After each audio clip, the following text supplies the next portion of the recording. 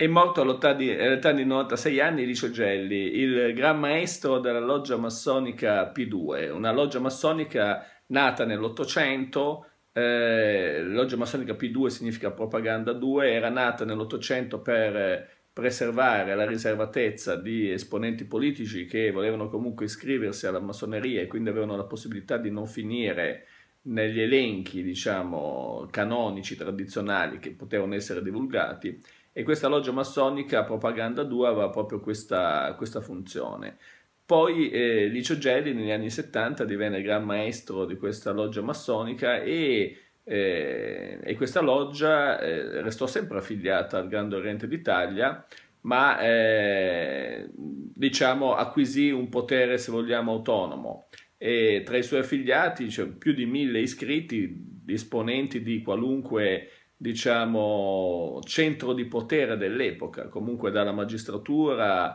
eh, alla politica, all'imprenditoria e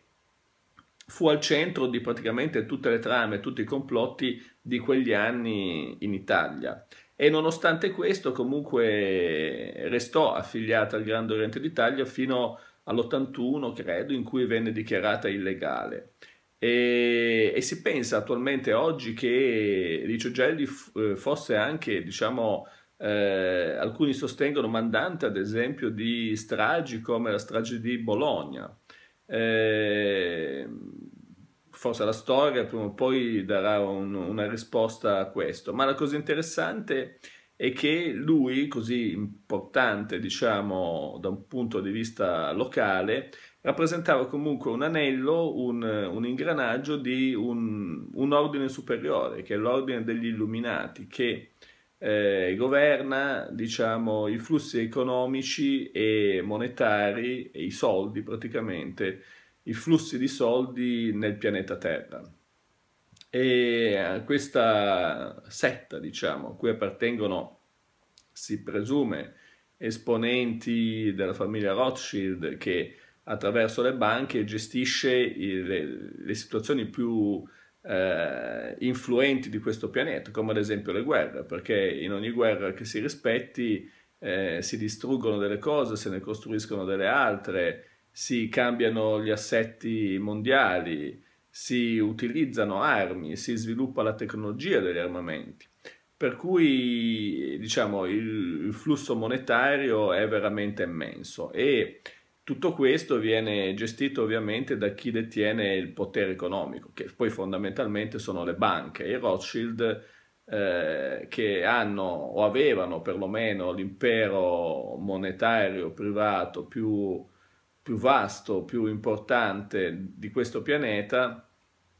hanno sempre gestito diciamo, eventi in, in, di ordine mondiale, essendo i burattinai che tiravano i figli di esponenti politici che invece ci mettevano comunque la faccia e eventualmente si prendevano poi le responsabilità delle azioni che loro avevano deciso ma senza eh, averne di fatto il, il controllo della situazione. Insomma, gli illuminati sono un po' come l'inconscio collettivo dei politici, nel senso che ne determinano le decisioni